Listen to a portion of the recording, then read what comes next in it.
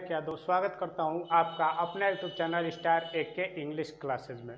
तो दोस्तों, आज मैं आप लोगों के बीच लेकर आ चुका हूँ फायर एंड आइस का MCQ question fire and ice का एम सी क्यू क्वेश्चन जो कि 2022 के एग्ज़ाम में चाहे वह यूपी बोर्ड के स्टूडेंट हो या सीबीएसई बोर्ड के, दोनों छात्रों के लिए बहुत ही महत्वपूर्ण होने वाला है।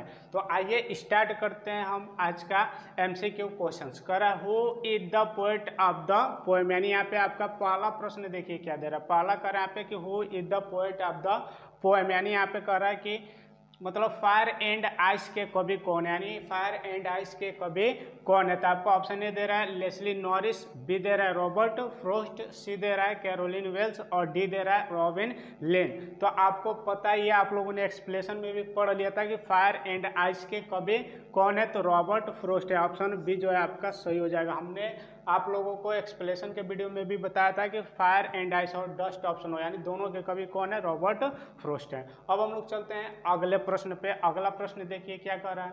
कह रहा है what does the poet compare fire with यानी कह रहा है what does the poet compare fire with यानी यहाँ पे कह रहा है कि मतलब आग की तुलना कभी जो है किससे करता है? तो ऑप्शन ए दे रहा है हेटेड बी दे रहा है हॉट और सी दे रहा है डिज़ायर और डी दे रहा है आपका बॉथ ए एंड बी तो आग की तुलना कभी किससे करता है? हमने पढ़ा था कि डिज़ायर से करता है। यानी इच्छा से, हमारी इच्छा क्या होगी? बढ़ती जाएगी, जिसकी वजह से संसार क्या होगा? समाप्त हो जाएगा। तो ऑप्शन बी जो सी जो है आपका क्या हो जाएगा?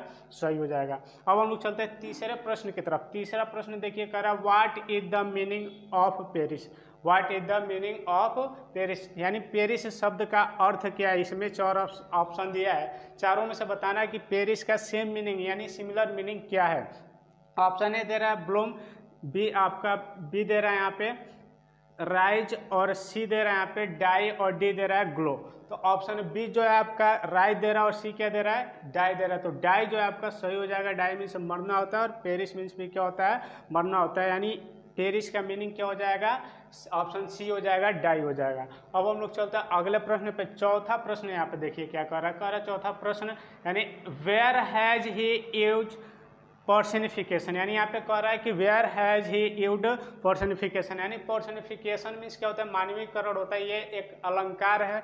तो पर्सनिफिकेशन का प्रयोग कहाँ किया गया? पर्सनिफिकेशन का प्रयोग कहाँ किया गया? ऑप्शन ए दे रहा आपका फायर यानी फायर में किया गया है। बी दे रहा आइस यानी आइस में किया गया है। सी दे रहा है अर्थ और डी दे रहा है बॉथ ए एंड बी यानी यहाँ पे ऑप्शन डी क्या दे रहा है कि दोनों में किया गया है। तो आपका ऑप्शन डी जो है सही हो जाएगा। क्यों हो जाएगा? अब यहाँ पे डी क्यों होगा? पर्सनिफिकेशन का मतलब क्या होता है? मानवीकरण होता है। यानी जब किसी भी निर्जीव वस्तुओं की तुलना किया किया जाता है, किसी भी निर्जीव वस्तुओं की तुलना की जाती है, किस मतलब किसी मनुष्य के गुणों से की जाती है। तो यहाँ पे मनुष्य के गुण की तुलना, यानी फायर की तुलना किससे की जा रही है? डिज़ायर से की जा रही है और यहाँ पे आइस की तुलना किससे की जा रही है? हेटर्ड से की जा रही है।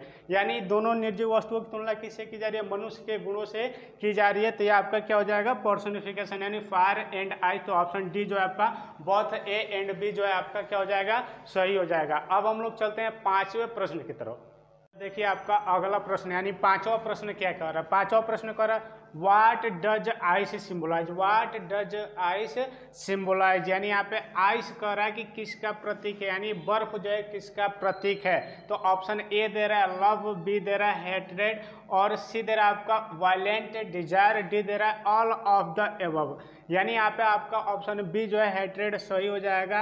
हमने बताया था आप लोगों को कि आइस जो है, किसका प्रतीक है? तो आपका हेट्रेड यानी घृणा का प्रतीक है। तो अब हम लोग चलते हैं अगले प्रश्न पे। छठवा प्रश्न पे छठवा प्रश्न देखिए what does violent desire refer to what does violent desire refer to यानी यहाँ पे देखिए क्या करे एक अहिंसा इच्छा जो है यहाँ पे बता रहा है कि किसको प्रदर्शन यानी किसके तरफ़ इंगित करता है? ऑप्शन ए दे रहा है, आपका फायर बी दे रहा है आइस उसके बाद यहाँ पे सी दे रहा है बॉथ ए एंड बी और डी दे रहा है आपका नॉन ऑफ़ द एबव तो हमने बताया था कि यहाँ पे आपका डिज़ायर शब्द किसके तरफ़ प्रदर्शित करता है? तो फायर की तरफ़ यानी संकेत करता है तो आपका ऑप्शन ए जो है सही हो जाएगा, यानी फायर हो जाएगा, ठीक है?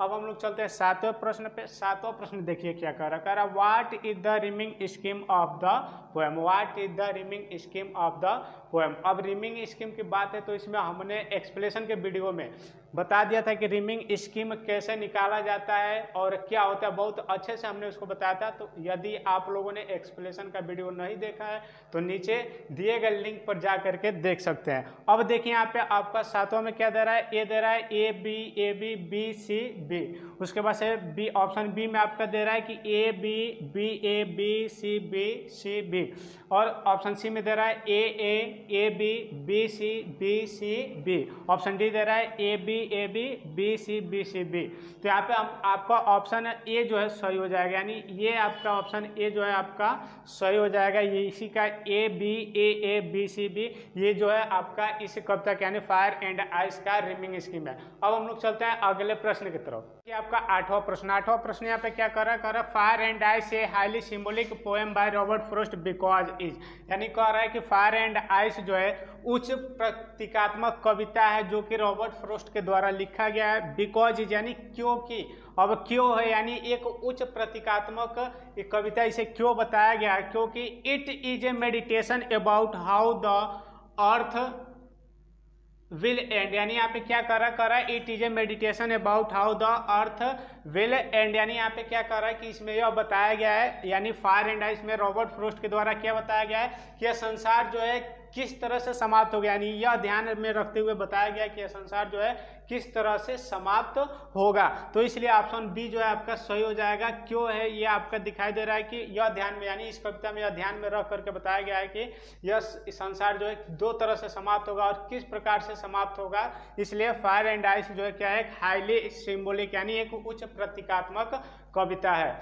तो दोस्तों, आज के लिए इतना ही। मिलते हैं अगले वीडियो में। तब तक के लिए जय हिंद।